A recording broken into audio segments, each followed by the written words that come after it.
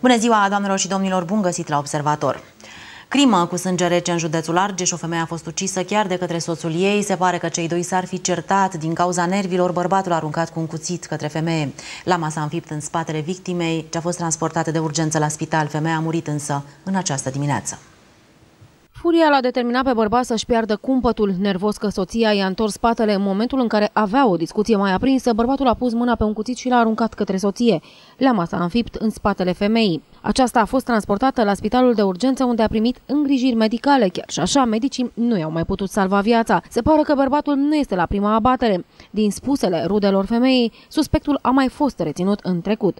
Acum vreo șapte-opt ani de zile a fost arestat, a făcut vreo șapte luni de zile pușcărie. Și ieri am aflat și eu după la lume, că eu stau mai jos, nu stau aici. Aici e casa lui, deci. Și a zis că i-a dat cu cuțitul în spate, a zis că a aruncat, dar nu e adevărat, n-a aruncat, că i-a perforat plămânul în ea. Polițiștii au deschis o anchetă în acest caz. În urmă cu două săptămâni, la școala numărul 16 din Pitești izbucnea un scandal. Unul dintre elevi era acuzat de părinții colegilor că le terorizează copiii. Aceștia în semn de protest au refuzat să-și mai lase copiii la școală. Autoritățile au intervenit, au luat poziție, integrarea elevului în colectiv. Deocamdată mama elevului trebuie să meargă la școală alături de el pentru a se evita incidentele. De altfel, atât elevul cât și colegii lui vor fi consiliați psihologic și ajutați să se accepte unii pe alții.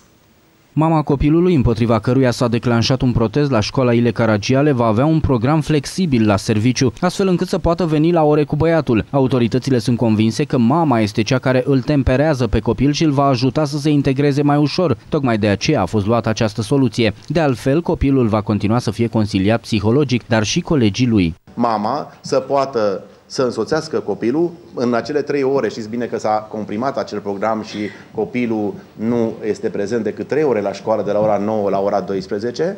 Și atunci, în acele trei ore, mama să-l poată însoți astfel încât lucrurile, într-o primă etapă, și iată cum a fost, v-am spus și ieri, să se desfășoară, să se desfășoară uh, bine.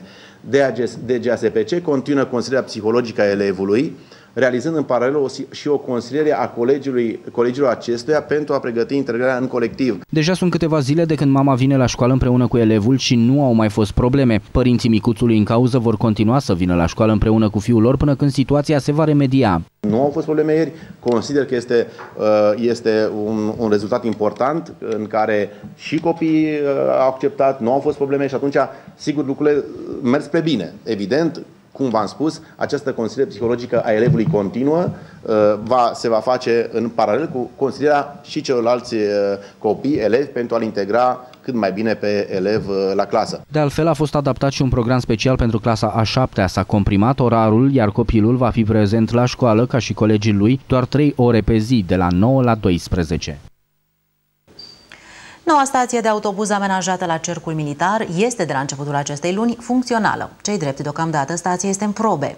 Dacă totul va decurge așa cum își doresc autoritățile, va deveni una stabilă, în care vor opri autobuzele de pe mai multe linii de traseu. Începutul lunii noiembrie a adus și inaugurarea unei noi stații la Cercul Militar. Deocamdată stația are un caracter provizoriu. Autoritățile iau totuși în calcul să amenajeze o stație în adevăratul sens al cuvântului, dacă testele vor demonstra că este benefică. Dacă lucrurile vor merge bine pentru că este cu caracter temporar, vom face și o amenajare în sensul de niște băncuțe și un uh, acoperiș. În noua stație opresc deja autobuzele de pe liniile 2, 19 și 13B, dar autoritățile doresc ca și alte mijloace de transport de pe alte linii să staționeze aici. Doresc să intrăm în stație cu un număr mai mare de autobuze, adică și cu autobuzele de pe alte linii. Ne-am propus inițial ca în stația aceasta să intre autobuzele de pe traseul 19, linia 19, linia 2, dar va intra și 13B și probabil într-un timp scurt uh, și linia 8 și linia uh, nu 13, linia 13B, linia 8 și linia 7. Stația de la Cercul Militar a fost amenajată în urma solicitării piteștenilor nemulțumiți de distanța dintre Casa Cărții și Teatrul Alexandru Davila, acolo unde sunt alte două stații. Grădina publică din Câmpul Lung a prins viață. Un număr mare de persoane a participat la manifestările organizate de militarii Batalionului 30 Vânător de Munte Dragoslavele, cu prilejul împlinirii a 100 de ani de la înființare. Militarii mușceleni au pregătit multe surprize pentru copii și pentru adulți. Militarii au ales să marcheze momentul alături de locuitorii din Câmpul Lung. Astfel, în grădina publică din municipiu a fost amenajat un teatru de război. Cel mai căutat punct din mini-parcul de aventură realizat de militarii mușceleni a fost Tiroliana. Copiii au așteptat minute bune să le vină rândul. Dacă unii au mai avut parte de astfel de distracții, pentru alții a fost o experiență în premieră. Și mașinile din dotarea batalionului au fost o atracție pentru oameni. E un lucru îmbucurător pentru municipiul nostru și am dorit să vedem și anii viitori aceleași lucruri foarte plăcute, foarte frumoase, educative pentru copii și de ce nu să ducem mai departe aceste valori. Am organizat această activitate care este o desfășurare de forțe și o desfășurare de armament a unității. E un uh, eveniment deosebit, e un succes. Eu le doresc să aibă la mulți ani, să fie sănătoși, întreg uh, batalionul și toți vânătorii de munte din țară. Conducerea batalionului 30 vânători de munte Dragoslavele și-a propus, prin acțiunea desfășurată, să arate cetățenilor și o altă față a militarilor mușceleni. Nu pot să fiu decât uh, bucuros văzând că uh, oamenii, din, oamenii din Câmpul Lung, oamenii simpli, copiii uh, din, uh, uh, din școlile din Câmpul Lung, au participat în număr uh, mare. Armele expuse, mașinile militare sau corturile au făcut ca atmosfera să fie una specială. Toate activitățile au fost însoțite și de muzica militară spre încântarea copiilor. Stația Antena 1 Pitești a fost luată cu asalt de către copii. Elevi de la școala din Topoloveni au venit în vizită pentru a cunoaște echipa și pentru a vedea ce înseamnă televiziunea. Cei mai curajoși dintre ei au intrat în rolul prezentatorului de știri sau al celui de reporter. Vedeți și dumneavoastră imagini acum. S-ar putea spune că școala altfel a venit mai devreme anul acesta pentru elevii claselor a 7 și a 8 -a, de la școala generală din Topoloveni. Profesorii le-au pregătit o surpriză copiilor și i-au adus în vizită la sediul Antena 1 Pitești. Elevii au fost mai mult decât entuziasmați când au intrat în platourile emisiunilor. Câțiva elevi mai curajoși au vrut să afle cum este să prezinți știrile, așa că și-au luat inima în dinți și pentru câteva momente au fost prezentatorii observatorului. Este clar, anul acesta iarna nu o să mai ai autoritate pe nepregătite. Totul este stabilit, de la materialul antiderapant până la utilaje și instrucțiuni făcute primarilor. Iată cum s-au pregătit autoritățile anul acesta. Febra știrilor le-a atras chiar și pe profesoarele copiilor. Este clar, anul acesta, iarna, nu o să mai ia autoritățile pe nepregătite. Totul este stabilit de la materialul antiderapant până la utilaje și instructajul făcut primarilor. Este clar, anul acesta iarna nu o să ne mai ia autoritățile pe nepregătite. Totul este stabilit de la materialul antiderapant până la utilaje și instructajul făcut primarilor. Dacă unii elevi își doresc să ajungă prezentatori, alți copii și-ar dori să fie reporteri. Au început deja pe acest drum după ce au avut mai multe discuții cu profesoarele și colegii lor. V-ați simțit bine la redacția Antena 1 Pitești? Da, m-am simțit foarte bine. Este o experiență foarte frumoasă și sper să o mai repet. Uh, no, ne-a plăcut foarte mult și sper să repetăm această experiență.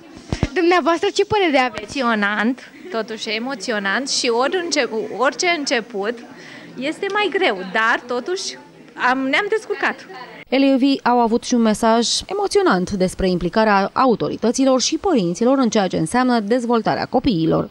Aici avem niște copii frumoși care se gândesc deja la lucruri mărețe pentru viitor și trebuie sprijiniți ca atare de toți, chiar și de profesori, de prietenilor, de părinți, de rude și chiar și de prieteni de familie, fiindcă orice sprijin contează.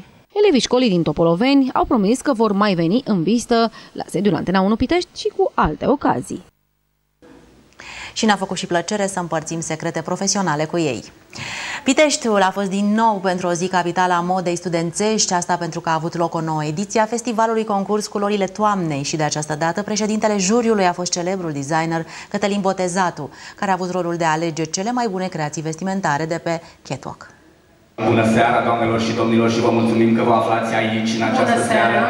Domnilor, bine ați venit la ediția 22 a Festivalului Național Studențesc de Modă Culorile Toamnei. Teatrul Alexandru Davila a găzduit cea de-a 22-a ediție a Festivalului de Modă Studențesc Culorile Toamnei. Festivalul, organizat de Casa de Cultură a Studenților Pitești, este deja o emblemă a județului nostru. La fel ca și în anii precedenți, președintele jurului a fost nimeni altul decât cunoscutul creator de modă Cătălin Botezatu. Celebrul designer participă la acest festival concurs încă de la primele ediții. Mă bucur că mă aflu și la această ediție, de altfel că n-a existat ediție în, uh, în Pitești să nu fiu prezent și asta se datorează uh, doamnei Valeria Coman. Uh, fără, dacă n-ar fi ea, n-ar exista acest, acest festival și dacă aplombul și motivația și toată dăruirea pe care ea o pune în acest festival, cred că nimeni n-ar participa. Felicit în primul rând casele studenților care vin aici și care fac eforturi extraordinare din toate punctele de vedere.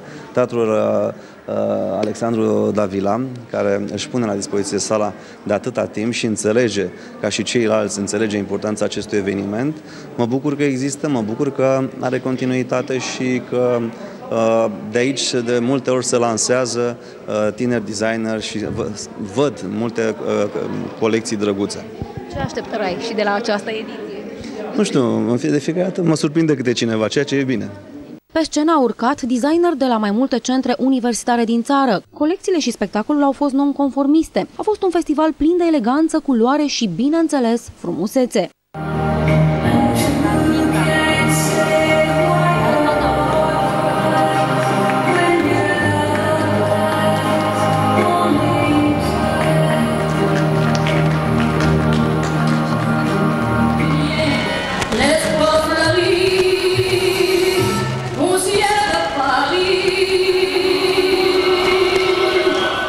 Valeria Coman, directorul artistic al festivalului, și-a dorit ca acesta să depășească granițele României și acest lucru s-a și întâmplat. Anul acesta a devenit un festival internațional.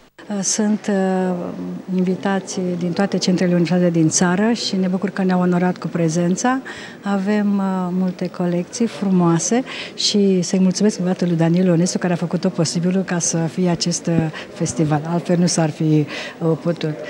Mă bucur că sunteți alături de noi și sper să fie o seară foarte, foarte frumoasă. Iată un, un uh, festival de tradiție în Pitești.